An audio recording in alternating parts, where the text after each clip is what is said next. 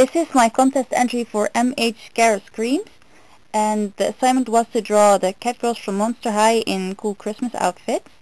Uh, Toralei's got lots of furry stripes and kind of like Santa's outfit but more cooler.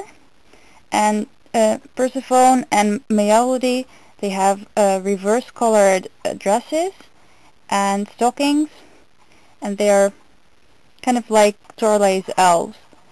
Um, of course there's a Christmas tree, lots of decorations, nice fire. And Toralei's just got a scarf. And somehow one of the twins is taking it apart because, ooh, it's wool and she's still a kitty. So I don't think Toralei will really like it when she finds out. And um, this is my entry. I really hope you like it and I really hope I win. Thanks for watching.